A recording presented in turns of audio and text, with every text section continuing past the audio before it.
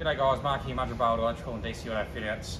We're going to go through with you the installation of the wiring harness kit for the 300 for the dual battery system. So I'm going to take you through, let's start at the DC-DC because that's where you mount the unit at the front, you feed the wire into the back. So let's cut through to here and I'll show you from up the front. Alright, so we start by mounting up the DC-DC. It mounts on the Redarc 300 specific bracket, so it all mounts in place here. I've got the torch here to make it nice and bright here. It all mounts into place, mounting to where the horn is. The horn goes back in, back the front to install that, and then it mounts off a lower point and a couple other bolts there that are already in the body. The harness loops through, comes up onto this existing harness, the cable ties along that harness. We do have our solar stuff there, we'll get to that later. And it will pop through this plastic trim. This plastic trim can manipulate out to the side, pass the harness through, comes in through here, through the actual uh, radiator support in behind the headlight.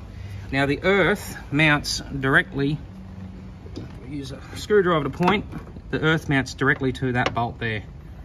So that's where the main earth for the unit mounts to. And the rest of it will continue on up and underneath the actual air intake, flowing along and coming up onto the MIDIs. Now, we also have the blue wire which comes along through here and it comes up through the inside. You can see I've actually got it running up through there in with the harness. I'll cut to a little shot there showing you how to do that. All right so there's two little tabs little flat blade screwdriver is perfect for it just one on each side of where this plate goes on and that will release that whole part of the fuse box. Then just inside here another little couple of tabs on either side one there. You can see it's starting to separate there one on the opposing side you can just sneak him down side there. That'll separate that. That allows you to run the cable up in between that. Once you've run that in between there you can just snap it back together slide that back in and that's how you install the cable into the fuse box. And then it actually plugs into that third from the left as you're looking from the front. It's a seven and a half amp fuse. You take that fuse out you replace the fuse tap with that. That gives you your ignition source and provides you with the fuse for what's original. That's the cover, which then can then go back over that. So you can actually clip that earth cover back on when it's done. Obviously, I haven't got this cable tied in here. We're just showing everyone how it lays in. It, you can cable tie off to a point there. You can put a couple of cable ties down along the front here to tie it in, make it all nice and neat. Now up here you'll notice we've got two different heat shrink colors. Now the reason for that is, is we've got auxiliary battery circuit and we've got main battery circuit and they're right next to each other so it's easy to identify and the reason we've gone with brown and red is red being main, brown being auxiliary battery just as Redarc does it with their BCDCs. So you've got your main power cable which loops up comes onto the actual stud here and then you've got your auxiliary floating onto the auxiliary battery there. Up the back here, we link the earth. We turn the earth and it just loops up nicely with the other earth cable and comes onto the back there.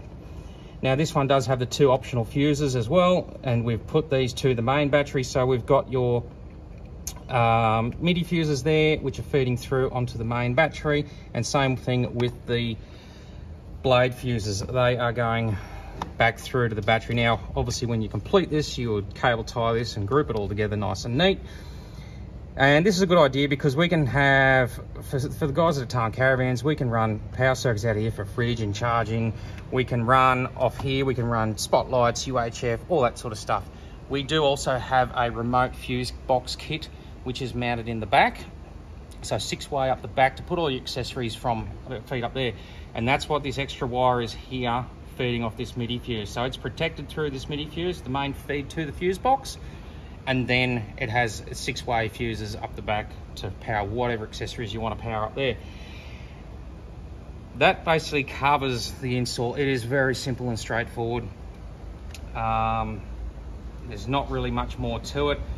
You'll get all the all the fusing and all the bits and pieces in your kit. When you jump on the line and look on the website, you've got the options to add in the different fuses that you want to want to add. So look us up on the net or give us a call and we can get you sorted, delivered Australia wide. Thank you.